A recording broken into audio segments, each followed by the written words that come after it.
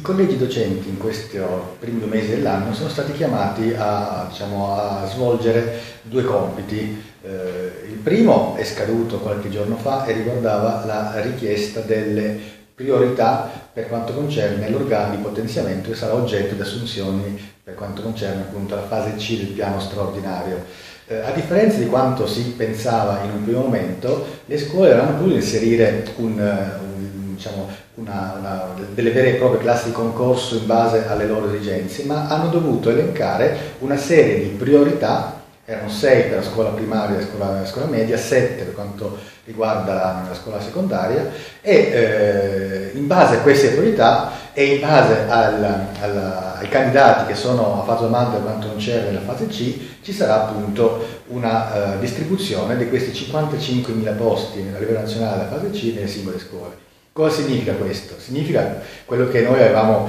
già detto tanto tempo fa, appunto, che questo piano di assunzioni non, non risponde pienamente alle richieste delle, delle, scuole, cioè in barba alla tanto diciamo, vantata autonomia, l'autonomia scolastica si è, in questo caso si è ridotta ad, una, ad un mero elenco di priorità che non verrà rispettato. È anche eh, intuibile capire questo fatto perché pochi giorni dopo, se non poche ore dopo che i collegi docenti hanno mandato ai vari OSR le loro elenchi di priorità, erano già pronti appunto il numero, la distribuzione di, queste, di questi posti a livello provinciale a livello di classi concorso, perché era evidente che visto che nella fase C eh, le domande erano 45.000 e la maggior parte di queste erano su classi concorso in cui i posti negli ultimi anni in di diritto non c'erano, eh, le richieste e le esigenze delle scuole invece andavano sempre per quanto concerne quelle classi concorso in cui non c'è nessuno, è ovvio che eh, non c'è la corrispondenza tra la richiesta della scuola e la disponibilità dei regolatori, alla fine di tutto appunto, verrà fuori che a prescindere, quindi tutto,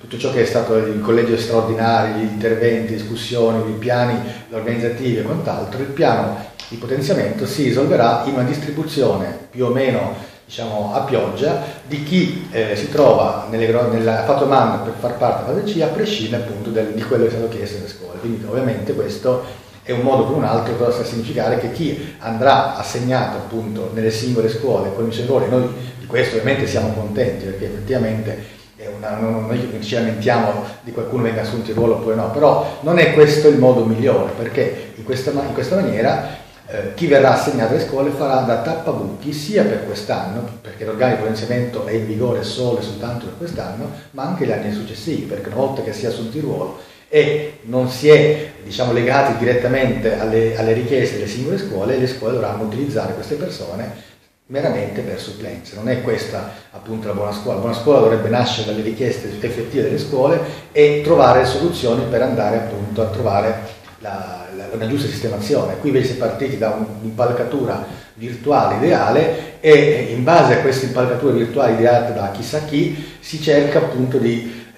tappare i buchi perché la facciata della deve essere quella appunto illustrata e non quella reale, ma i problemi della scuola in questa maniera non vengono assolutamente risolti. Ci sono tante classi concorso totalmente vuote che eh, non hanno candidati nelle graduatorie di esaurimento e necessariamente eh, sarebbe stato più opportuno aprire questa, questa, questa, possibilità anche a chi è abilitato e trova in seconda fascia e ha i 36 mesi di lavoro come viene detto appunto dalla, dalla Corte di Giustizia Europea. Siamo ancora in un problema aperto e sicuramente questo verrà, eh, prima o poi verrà appunto messo,